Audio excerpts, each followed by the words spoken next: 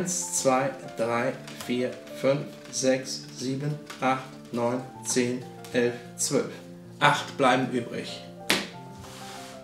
Wir haben uns darauf geeinigt, eine Nase zu finden, eine schwarze Nase zu finden. Man kann die Person selber festlegen. Eine Person des öffentlichen Lebens.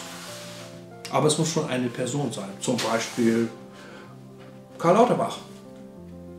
Man kann aber auch Klaus Kinski nehmen. Das ist ein bisschen besser, weil Klaus Kinski interkonfessionell anerkannt ist. Also als Geimpfter kann man sich auf Klaus Kinski genauso gut einigen wie als Ungeimpfter. Wenn man auf der Intensivstation liegt, ist das, glaube ich, auch was Versöhnendes. Wenn man nicht gerade ausgerechnet jetzt Herrn Drosten nimmt oder also eine Unperson. Oder für den einen ist es eine Unperson, für den anderen ist es eine Person. Also das, ist nicht, hat nichts Versöhn, Versöhnliches oder Versöhnliches. Also nimmt man Klaus Kinski, ist eine gute Idee. Das heißt also, wo sind meine acht? Da.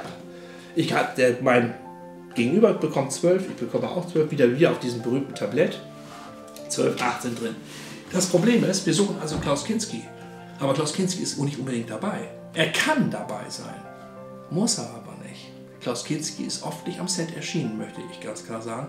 Flitz Caracho habe ich es genannt, das heißt glaube ich Fitz Caroldo. Flitz Car ich fand Flitz Caracho viel schöner, ehrlich gesagt. Ich weiß nicht, warum der Werner Herzog diesen Titel Flitz Caraldo, Phil, ich kann es nicht mal aussprechen. Ich nenne es Flitz Carajo. Mein Spiel heißt Flitz Carajo, aber Klaus Kinski spielt da eine große Rolle drin, weil er nicht da ist. kann man auch so sehen. Also ich habe zwölf Karten, die gucke ich mir an. Zip, zip, zip, zip, zip. Und jetzt kommt es darauf an, Quartette zu bilden. Wobei ich ja schon sicher weiß, erstens werde ich Quartette bilden können. Wohl eher nicht die Chance, dass alle vier Karten sozusagen im Spiel sind, naja, ich weiß nicht jetzt prozentual, keine Ahnung, ich weiß nicht, wie hoch die Prozente sind, aber es die Möglichkeit besteht, äh, weil hier acht Karten sind, dass es wirklich auch so ist, dass Quartette nicht möglich sind. Äh, vielleicht sollte man sich nur auf zwei Karten einigen, das wäre ja auch schon, erhöht die Chance natürlich gewaltig. Soll man ausprobieren, ich habe es noch nie ausprobiert. Es könnte sein, dass es Blödsinn ist, Quartette zusammenzustellen, aber zwei Karten geht vielleicht. Jetzt passiert das folgendes, ich ziehe aus dem anderen Kartenspiel, den hat er auf der Hand, sozusagen, da ziehe ich einfach von ihm eine Karte. Weg ist sie. Und hoffe, dass sie zu meinen passt. Jetzt schaue ich mal rein.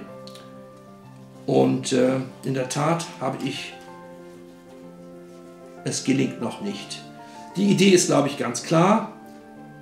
Wer die vier von einer Kategorie hat, darf sie ablegen als Quartett und gewinnt sozusagen immer. Man zieht sozusagen Karten. Eine preußische Ordnungswut ist da nicht angesagt. Also es gibt Menschen, die ihre passenden Karten schön zusammenstecken. Es ist also preußisches ist nicht, nicht gefordert. Schön anarchisch bleiben, die Karten irgendwie hinstecken, damit der andere nicht erraten kann, wo der Cluster ist, der, aus dem man die tollen Karten zieht. Es ist ein bisschen mühsam, muss sich vorrecken, aber ein bisschen Sport im Krankenhaus ist gut.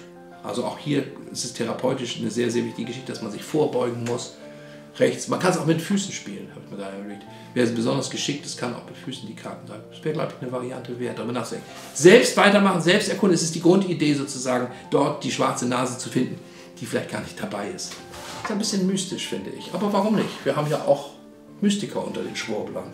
Müssen auch bedient werden.